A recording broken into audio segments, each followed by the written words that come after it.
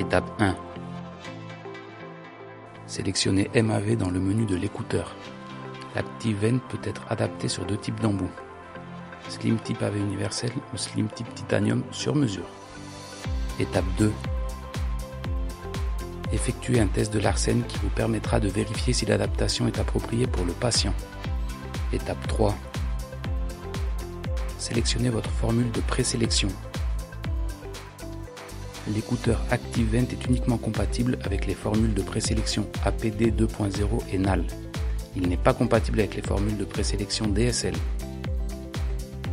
Étape 4. Dans Options de programme, vérifiez la position de l'ActiveVent pour chaque programme.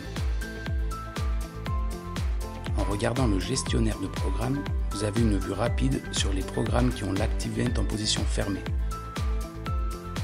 S'il n'y a pas de symbole de fermeture, l'ActiveVent est ouvert. Vous avez la possibilité de modifier la position de l'ActiveVent dans les programmes AutoSense suivants. Parole dans le bruit intense, parole en voiture et musique. Vous pouvez également le régler dans les programmes de streaming et dans tout programme manuel non lié à AutoSense.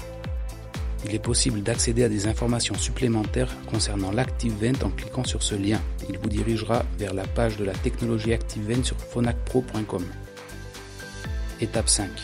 Dans Options de l'aide auditive, vous pouvez activer la fonction sourdine pour que les patients puissent écouter les contenus en streaming avec une réduction supplémentaire du bruit ambiant. Voilà, c'est terminé. Vous pouvez maintenant réaliser un réglage avec un écouteur ActiveVent. N'oubliez pas d'enregistrer et de fermer votre session.